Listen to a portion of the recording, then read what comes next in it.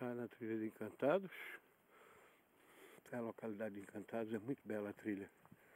Muito bela. Nenhum sinal de civilização. As pousadas já passaram, foram para trás. E eu tô aqui. Já tô andando há uns 25 minutos. Ainda tem quase duas horas pela frente. Vamos lá. Ah. Bacana, né? Gosto disso. Eu e a natureza e Deus. É assim que eu gosto. Bem selvagem. Só não posso voltar à noite, porque para andar aqui à noite eu não trouxe lanterna. E eu tenho tanta lanterna em casa. Aí o pessoal anda de lanterna aqui à noite. Eu não vou comprar uma. Caríssimo, né? Muito caro aqui. Dez vezes mais do que no continente.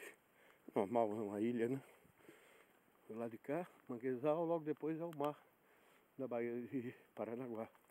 Do lado de lá, o Atlântico.